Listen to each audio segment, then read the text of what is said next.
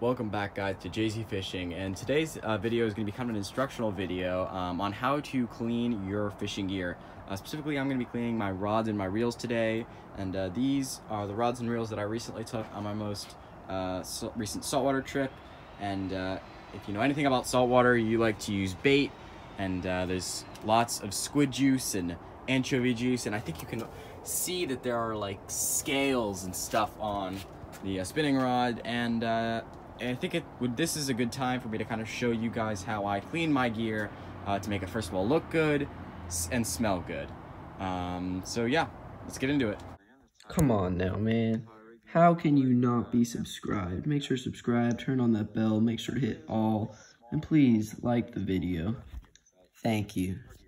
You know, one question I get asked a lot is how frequently do I clean my gear? And that answer really depends on how often you go fishing. Uh, for me, I like to go about once or twice a week. Um, on most days, unless it's summer, then I like to go more. Uh, but on usually, I like to clean it about maybe once a month, and, and during summer, once or twice. Um, it all depends really on how frequently you go fishing, fishing, and how, how frequently you want to clean your gear. Uh, but for me, I like to go once a month and do it once a month. All right, before we do any washing, uh, I'm gonna kind of show you guys what I use to wash my gear. So first of all, I got little red bucket here. I don't know how big it is. Uh, and I got warm soapy water. The soap that I'm using is seventh generation dish soap. That's all you need. Um, and then I've got a little bit of a toothbrush here. You'll see why I use that in a minute. And I've got this uh, little rag, which I can actually put on my hand. It's used for uh, washing cars, but you can also use it for fishing rods. Um, and I like this one because I can kind of use, pretend like my hand is like the cloth and kind of get in some of these, these gears uh, in the rod a little bit better. Um, and then obviously you need your rod and um, I'm gonna be using this uh, hose right here to kind of hose everything down uh, when it's all soapy.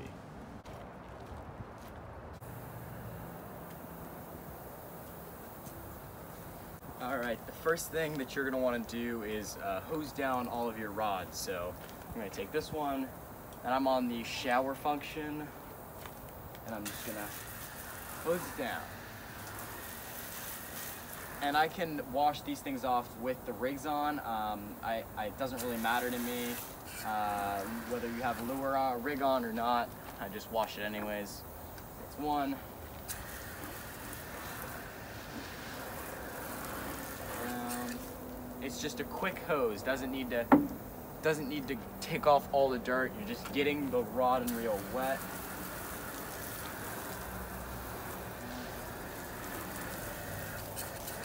Right? Now once you have done that, you're gonna take your soapy bucket of water, you're gonna take your rag, you're gonna dip it in the water, and you're literally just gonna go up and down the rod with the soap. So you're gonna get all the little cracks, everything, um, and make sure that that rod is really soapy. I'm gonna do that right now, and then I'm gonna uh, we're gonna skip ahead and uh, I'm gonna show you what that looks like when it's done. All right, now that your rod is all soapy and uh, uh, and all soapy, you're gonna wanna take your hose and literally just wash it down. Make sure get all that soap out, right? It's not that hard.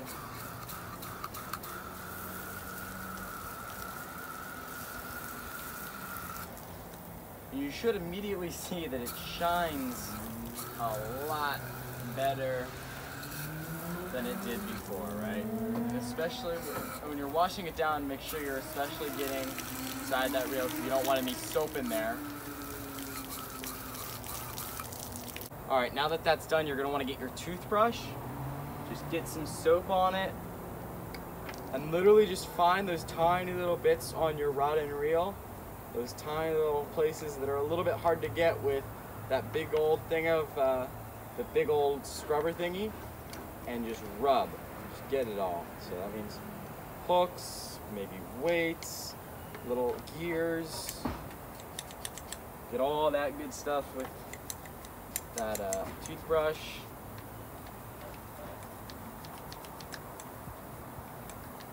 And then uh, one other thing too is if there's, you're just going through the rod and you're, and you're you're making doing like a double check and make sure everything is clean. You just see something, hey, not clean, just take the toothbrush, wipe it down.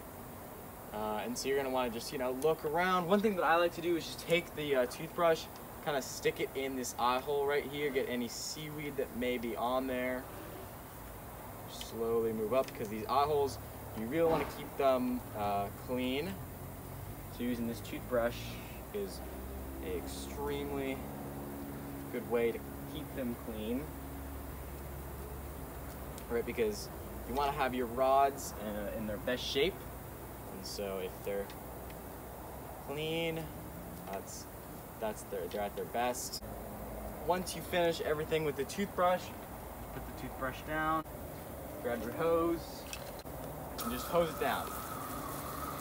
All